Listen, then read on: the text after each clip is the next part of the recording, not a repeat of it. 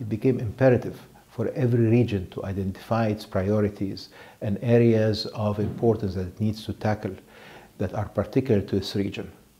As we know, the challenges are cross-boundary. They're not only country challenges, but they really cross the boundaries.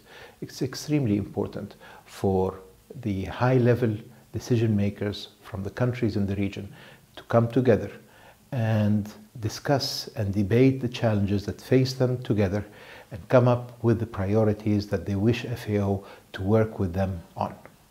The meeting gives an opportunity to discuss uh, specific challenges. Uh, some are well known, others may be emerging in the food and agriculture sector.